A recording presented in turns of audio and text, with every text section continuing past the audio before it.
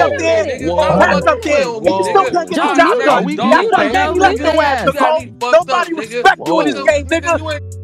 One thing I can say about the Joe Budden fans, they might be some of the biggest glazers of all time. But I understand because I be glazing too, dog. I'm gonna tell y'all a story, dog. Probably back in like February or something like that. Like I seen Amani at the Saks, um, at that mall in Jersey. I forgot the name of the mall, but the one where it's like they got the um they got like the outdoor or the indoor ski lodge and all that kind of stuff. They got the Nickelodeon stuff there. It's like a big ass mall in Jersey near the Giant Stadium. I seen them there at Saks. Um, and that was like one of my highlights of the day at that time, dog. Cause for one, it's like this. I don't really watch TV. I listen to music. I'm a fan of maybe two, three podcasts. Joe Budden's So Shameless, Vulture, but I don't watch TV. Like, and to be honest with you, I might not even listen to So So Shameless or Vulture every week. The only thing I really watch might be Joe Budden or some workout stuff on YouTube. So I literally only watch Joe Budden. And I have the Patreon I watch for hours and hours and hours. So me seeing Amani was like a big thing. Like I didn't go crazy or asking for no pick or nothing like that. To me it was dope, but it was like, yo, it was dope. You know, this is the only shit I watch. It's dope seeing that these niggas are actually real people in real life. Like, you know, you you never see them. So it's like, is this nigga even exist? Like, or whatever. But I seen him, I gave him a head nod.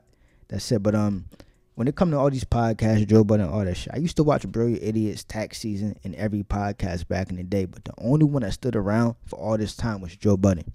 So I listened to hours and hours and hours of that shit. So it's understandable how these Joe Budden fans are becoming glaziers. Because once you listen to somebody for 10 hours a week for years and years and years, you consider that nigga a friend. Like, real shit. Like, if it, if I was out somewhere and, and I seen somebody jumping Joe Budden, I would probably run up and jump. Like, I would take it personal like not only Joe Budden but all the other co-hosts, I would take it personal, like they my actual friends or something like that. So I see how these niggas are, you know, glazing these dudes. Or, but going on Clubhouse and arguing like a little ass kid, bro, that's uncalled for, bro.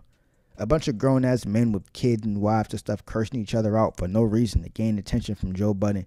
It's disgusting and it's diabolical, dog.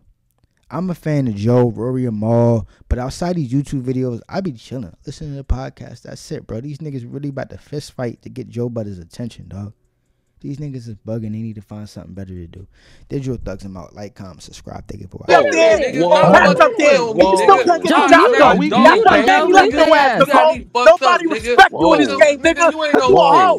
Cause you a hoe. You got no respect for nothing. And you paying ten dollars for unblock, nigga. Eat a dick. You the only nigga I know that ever paid ten dollars for unblock, nigga.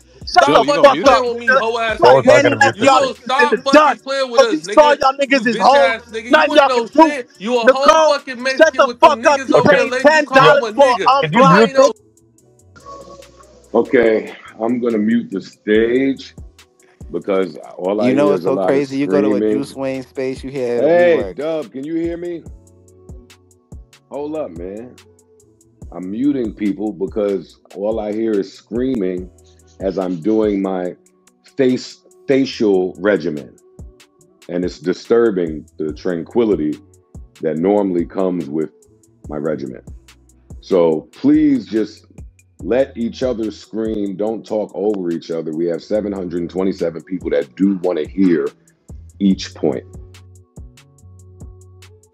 Nah, fuck that nigga. He could eat a dick because he got your no- mother can he doing all dick, that shit and he only got nigga. 17. You, all you do is Nicole, suck, you nigga. said it's Stop easy to pop off sucking other spaces, niggas, but you man. got Tax Hey, and Rocky need, in there with 17 views, niggas to come in nigga.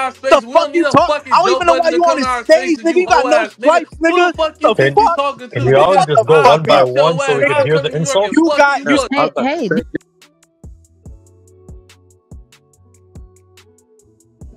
All right, y'all are getting ridiculous. If you do it again, I'm gonna have to remove you from the stage.